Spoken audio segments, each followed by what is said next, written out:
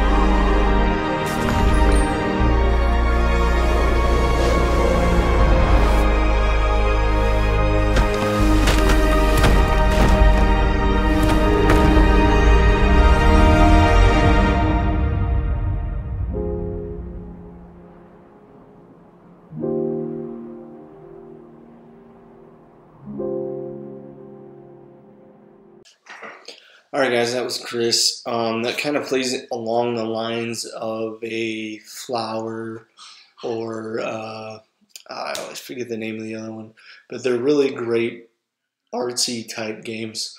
Um, you can see that we're getting a little bit scarce with um, top game releases and, and big titles coming. That is because holidays are right around the corner, and of course, we all know that some of the big titles are going to release around the holiday season. Um, so we'll definitely have more coming in the upcoming weeks for stuff like that. Well, let's go ahead and jump into uh, PlayStation news for the week. Uh, again, real quick on Gris.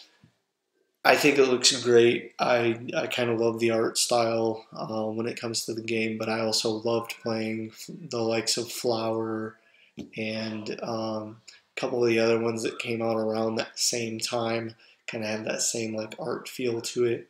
Uh, they were really great games, but if you're not into that sort of thing, well then maybe you just pass on Gris.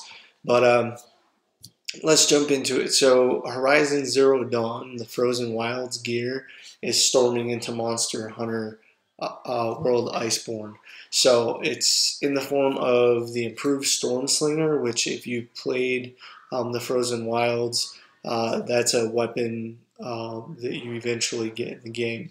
Um, at Master Rank 24 in Monster Hunter World Iceborne, you can take on the Zinogre or Zinogre. I'm not sure how they're pronouncing that. I haven't delved into the game yet.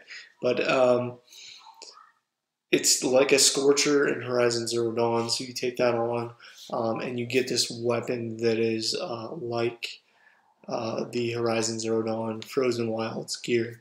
Um, so that's just one way they've kind of implemented uh, the cross between Monster Hunter World Iceborne and Horizon Zero Dawn the Frozen Wilds.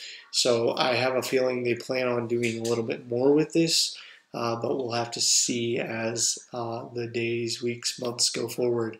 Um, the final thing for PlayStation this week is the uh, the FIA Gran Turismo Championships happened in Monaco, and they completed today. Um, it also had uh, a few new releases for the game that were part of the uh, championship. They would it was part of the live airing, I guess uh, you could say. Um, it had new releases for the game from Mazda and Lamborghini. They each had concepts that they were um, touting for the game and to be released within Gran Turismo Sport. So uh, that's exciting. That's actually really cool. Let's go ahead and move into Xbox. like I said, everything's kind of scarce uh, coming up to the holidays. So for this week, I chose uh, Super Dodgeball Beats that comes out on the 28th. So uh, go ahead and check out the trailer. Dodgeball.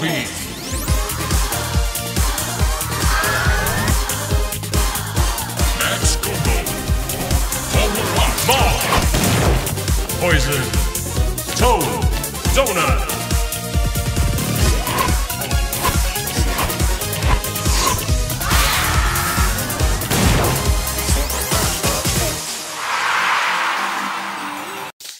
All right, and as you probably noticed that the release date calendar for Super Dodgeball Beats is a little off. Uh, yeah, it said August definitely for um, all three systems, I believe. Uh, and here we are in November. So um, that releases on the 28th again. Um, let's move forward with Xbox news for the week. So Rainbow Six Siege crossed over with Netflix's Money Heist for a special in-game event adding a new show-inspired mode and cosmetic items through today. So if you're just now watching this and it's tomorrow, Monday the 25th, you probably missed it. But um, that being said, Xbox Live Gold members could try the content for free and the new cosmetics could be nabbed for 1680 R6 credits within the game. Um, get ready for Black Friday. It's coming from all these systems, and uh, for Xbox, they've got something that's actually pretty cool. Um, you can go into the store and make your wish list, and then if any of your titles go on sale for Black Friday, you'll get a notification on the system through your profile letting you know that yes, this title's on sale. Here's the price. You want to buy it now, it's actually pretty cool. Um, but that's it when it comes to Xbox. So let's go ahead and move into Nintendo.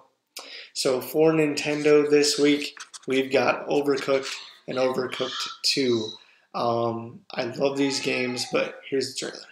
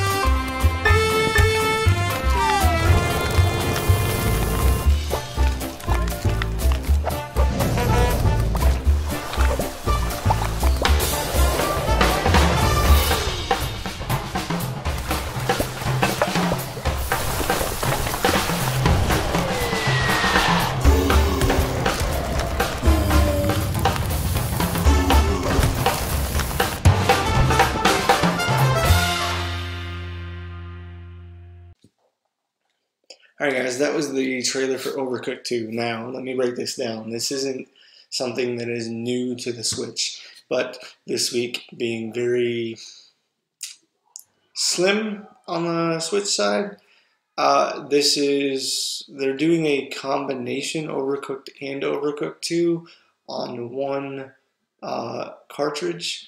So that's kind of where this comes from. So play that trailer uh, to bring out that title. It's Overcooked and Overcooked 2 on one cartridge. It releases this week. Alright, so moving forward into Nintendo, Zavvi launches Mario Kart Racing merch range. Um, it's a whole line based on the franchise, including t-shirts, screen prints, hoodies, special number plates like metal number plates from the game, and a mug. Um, it looks really cool, so check that out if you would like. They're a company out of the UK, again, Zavvi, Z-A-V-V-I. So go ahead and check them out if you're interested in any Mario Kart merchandise. Alright, 3,000 pocket monsters can now be stored for Pokemon Go. Niantic released an update that, that raises sorry, the amount of Pokemon to 3,000 and bag upgrades to 2,500 items. Die-hard players may actually use this and the in-game price to obtain it hasn't changed from previous updates. So if you've been playing this game and you've got that many to store, by all means go ahead and purchase that uh, in-game with in-game currency, um, and you know raise your caps by 500 on each. If you're just starting, you won't need this. Um, so you know maybe one day you'll get there if you're starting to play the game. However, um, if you're diehard, you probably have already capped out, have been frustrated because it's been some time since they've done an update for storage of both your Pokemon and your items. So there you have it. That's it for Nintendo. By all means, again, like, comment, subscribe, and starting next week, we will have Stadia news, and uh, I believe next week's the end of the month, is it not? Let me check my calendar here. Um, come on, load up. Today's the 24th. So, yeah, next week is the end of the month. So, that being said, next week we're going to get a special treat because it's the end of the month. So, Sunday we will do our regular episode with regular news, but we will also have two end of the month videos a review on Need for Speed Heat. Uh, because I did promise that at the beginning of the month. Also, a review on Google Stadia because I have it. I'm unboxing it today. I'm going to see how it plays, what they've offered, how the controller responds, etc., and give you a full on review of Google Stadia. So stay tuned for that. You've got plenty coming next week. Again, like, comment, subscribe, and by all means, share with your friends. Until next week, have a good one, and we'll talk to you later. Peace.